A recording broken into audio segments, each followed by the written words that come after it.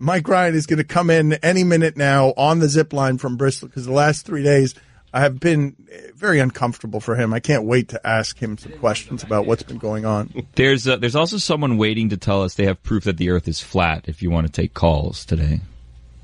Okay, go ahead and call that call. Uh, go ahead and pull that call up and just let that. I think person- you call the guy. He just calls it. Yeah, right. All right. What what is it, flat Earth person? What do you got for us? What's the proof? Well, there's a lot of proof out there. I just want to give, give a few you guys out there in the world to take a look, whether it's on YouTube or anything it is of people doing experiments. First one, people can look across Lake Michigan with a telescope at a 60 mile portion and see the skyline of Chicago, which according to the curvature of the earth is not possible. They tell us it's a mirage. Any questions there? No, sir. Go on.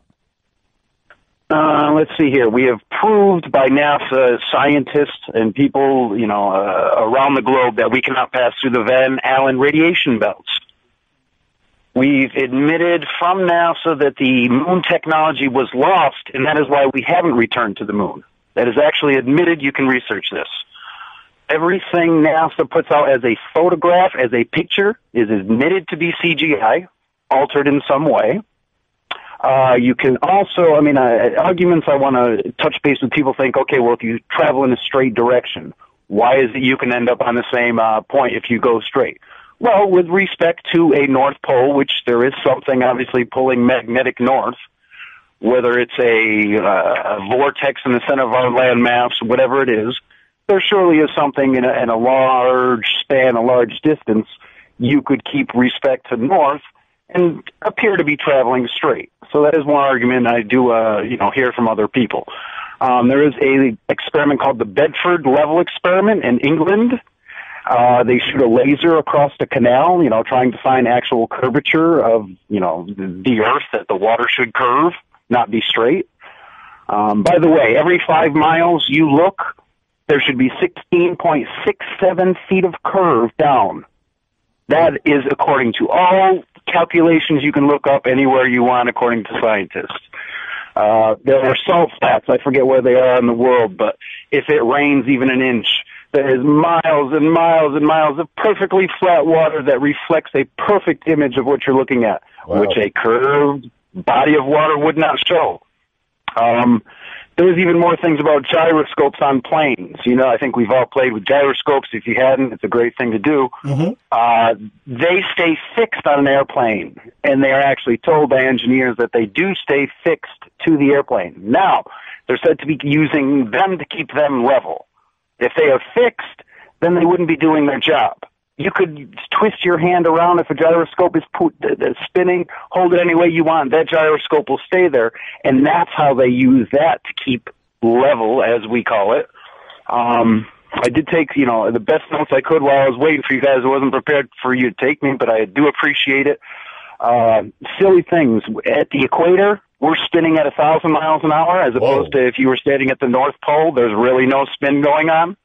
Uh, when you're watching rockets and shuttles take off, they'll tell you that they're not going completely straight up forever. You guys are in Florida. It's great. You've probably seen the shuttles and rockets take off. Don't they always end up curving to like parallel to the Earth? They'll tell you that that's because the Earth is spinning. Yet a spinning Earth has no effect on a plane. You might think flying to California might be faster than flying from California to Florida because the Earth is spinning, but no. Yet the rockets, uh, smoke or exhaust that's coming off, you'll see it all of a sudden it starts going level. They don't go straight up. Matter of fact, as you get into space, they've proven in a vacuum, a rocket thrust does not work in space. There is no thrust. Nothing should be traveling. Hmm. I could go on. I, I've done a lot of research. It sounds crazy, but it's such a good, fun topic. Even if it's entertaining to people, there really is reason to look across the plane of Earth you live on. Dan Lebatard. Stugotz, do you have a theory? Stugotz. Uh, yeah, let's uh, hear Bomani's theory. That would be my theory. This is the Dan Lebatard Show with the Stugotz on ESPN Radio. College basketball, as you know it, may be dying or dead. We might get to that at some point, but first, that caller. a caller to the last segment of the local hour that we do before we start here nationally, was yammering for a long time about his proof that the earth is flat. And that guy talked for about four minutes without a word from any of us. And then this person writes in, why would you give a moron like this the platform to spread this misinformation? You don't get the show. I believe that that guy rivaled. He does. He does not win, but he rivaled one of the best calls we've ever gotten. Who is our best caller ever? Who? Who would the audience say? Now we don't take very many calls. We've never taken very many calls, but every once in a while a loon sneaks through, and we celebrate that looniness. Fake Jason Jackson. Fake Jason Jackson. Yeah. is a great caller, but I'm talking about the traditional sports radio caller. I'm not talking about a guy doing an impersonation. We got a fake Pavarotti that calls in. I'm not talking about the actual talented people who call in and do talented things. I'm talking about the crazies and the loons, the people from the fringes who think that their way of communicating with the world is through AM radio. So they call a sports radio show and then give you their theories for some reason. No idea why he called this number. No idea why we picked up the call for four minutes. He was explaining to us why the earth is flat. He also said he wasn't expecting to be taken, so he was still taking notes, which He- is weird. Why Yeah. would you call it Yeah, and, and so what? I, if I could have, I'd still be having that conversation for the remainder of this show. As performance art Andy Kaufman, I would have loved to have just taken that call for the three hours of this show. He made some good points. Opened my eyes. I mean, So, but uh, Guillermo, isn't Lombardo famously in the history of our show? Isn't that guy Lombardo? Find one of his calls. It would he not be considered? it- It's either look at the very beginning. At the very beginning, I don't know if you guys remember this. Maybe you could find this. This might have been the first caller we ever got. See if you can find Benny from Fort Lauderdale. oh yeah. This might be 15 years ago when we started. and God, you guys are going to find this funny. If we can find that call from 15 years ago, if we can find that call, you, you will have understood the people who have been uh, with us throughout how we have morphed from one thing into something else over those 15 years because the original sports radio caller that I made fun of was a guy named Benny from Fort Lauderdale. Yep. Remember him well. And he called in one time and he just said that the best team ever was the Dolphins 17 and 0 season because they never lost a game. and that was the call. That was it. He was just calling to nominate what he thought was the best team ever. It's not what we were talking about. He just wanted to nominate that. yep. And he did. And for a long time, he was the best caller in the show's history because he had said only the world's most obvious thing. Now, Stugotz stole that idea and turned it into something else to great profit and success. stole that character, made it much better, made it his own. Next thing you know, he's yelling at Wilbon and Rich Eisen over the course of the week. or they're yelling at me. But give people a taste, Billy, of Lombardo. Give them, Lombardo was a guy who only called a couple of times, but he was gonna bury us with his sports knowledge. Al, you're on 790. Yeah, hi, Lombardo. Dan, I can't believe how accurate you are on this obvious point while how slow on the uptake the other guy is. It is so obvious. I mean, you take a look at golf. Someone who has the yips. Sam Snead, my God, in the late 50s, he had to go to side saddle. Then they had to change the rule. You couldn't go croquet. He still went side saddle the opposite way. Both feet to the left of the ball. You see guys like Bernhard Langer that have had the yips and went to the long putter three different times. You've got guys like Ian Baker Finch, was one of the greatest putters in the world, won the British Open, got the yips, went to the long putter, couldn't even putt again, quit the game, became an analyst. You go to bowling. Are you trying to tell me that if Mark Roth is starting to miss a lot of 10 pins in the channel or hooking it too much, that he isn't going to go smart enough, which he eventually did, to a lighter ball?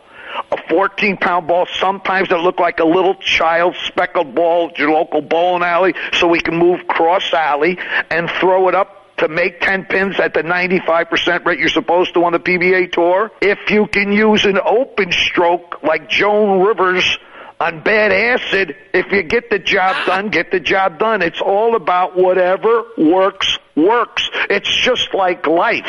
If you want to go through life trying to fornicate with the most beautiful women in the world that you can while also have a main squeeze and a four or five mistresses on the side, rock on, then try to keep trading up.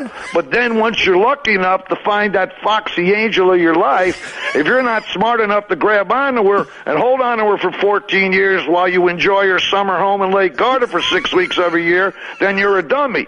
But what works, works, Stugotz, you lame uptake. Okay, so uh, that, Just great. that was Lombardo. Uh, Stugotz was talking about Shaq should throw uh, shoot free throws underhanded, and uh, or shouldn't, I guess. And Lombardo I said t- shouldn't, yes. t- took objection. Uh, Chris Cote is going deep in the archives to see if we can find our original caller, Benny from Fort Lauderdale. where the point, the, the very point where we decided, you know what we're going to do? We're going to mock sports radio the rest of the way. after this call, that's the tipping point on the direction we chose after that. But let's hear another call from Lombardo. Let's hear another from this loon. Al, you're on 790. Yeah, so sick and tired of listening to heat management, players, fans, and alleged radio sports talk show hosts in South Florida say that they were two wins away from winning the title. They choked away a 14 point lead with just four minutes left at home in game two after winning the opener at home. As they missed 11 of their last 12 shots offensively, while defensively they allowed Dallas to hit 11 of their last 12 shots.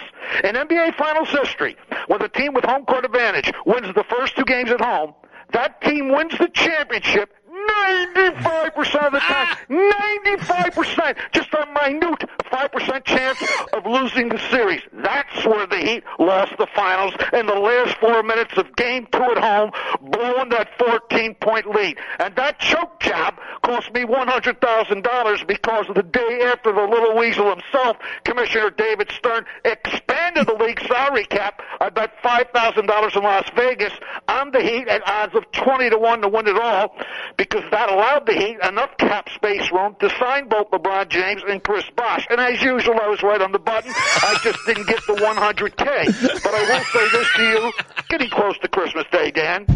You effeminate tribal collectivists, I'll put up a million dollars. You put up a hundred thousand. That's ten to one of the money in case you can count. And we'll ask questions about sports of every sport imaginable. And I'll bury you for dinner. You know it, I know it. That's, I put that challenge up for 28 years down here in South Florida. And not one person has accepted the challenge yet. A million to a hundred thousand, you bum. Now come on, take me up on it. Every sport imaginable. Let's go. Don't you still believe that Cuban Americans had the right after the 2000 presidential election, that 22% of people who voted said that they changed their vote to Bush because they felt that Elian did not deserve to be with his natural born father? Didn't you even agree with that, you twisted sister? But you won't take me up on that million dollar to one hundred thousand dollar bet, will you? You'll make little jokes and you'll put little put-ins here and a little take in here, because that's what your show is. It's garbage. When I was with flagship station, my Arbitron rating was 28. You hit bums are lucky if you get a six. Good day. Gosh, that was great. Nailed the dismount. Good day. I uh, he had a 28 share. uh, yeah, put it on the poll, please, Allison. Uh, did you know that uh, Lombardo was the known South Florida sports trivia champion? Did he take a breath during all of that? It, it's amazing. It's amazing. But I also want to put put this on the poll. Al Lombardo versus Benny from Fort Lauderdale. Who is the better call? Incidentally, I later met Al Lombardo in real life. This isn't going to surprise you. Breath of coffee and cigarettes. Not right. If I ask you, what does that person smell like? There, if I made you guess, coffee, coffee and cigarettes. Yes. Uh, 6 a.m. coffee and cigarettes. yes. And not clean shaven, I'm guessing, right? Uh, yeah, no, I think he was. He was Really? clean shaven, but the stubble, the stubble started growing four minutes after he shaved. so here is Benny from Fort Lauderdale. And so these are two very different kinds of sports radio calls. Which one is the greatest call in show history? Is it Al Lombardo or is it this, one of the first calls we ever got? Benny in Fort Lauderdale, you're on 790. Hi, this is uh, Betty from Fort Lauderdale. We've established that. I want to say that the 72 Dolphins uh, are so special because they won every game and then they won all the playoff games. That's a pretty good call. Who is this?